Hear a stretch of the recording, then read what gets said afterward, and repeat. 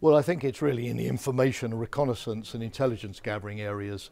Uh, drones are part of that, of course, but also enhanced uh, sensors, satellite uh, uh technology, uh, the ability to see things 24-7 uh, at night in all weather conditions and in the most inhospitable parts of the, the world. The reason for that, of course, is that as our armies get smaller and smaller because of budget cuts, and as we have to go looking for terrorists in vaster deserts where they're very difficult to locate, we haven't got the money any longer to send vast numbers of forces to occupy countries.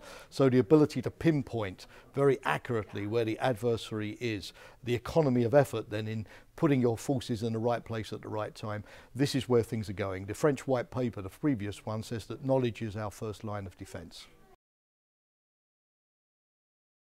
There are now uh, uh 80 countries in the world that have uh, drone technology, even if that is not necessarily attack drones. And more and more private citizens, for example, in the United States are acquiring them as, as hobbies. The technology is perfectly basic and they can be very small indeed.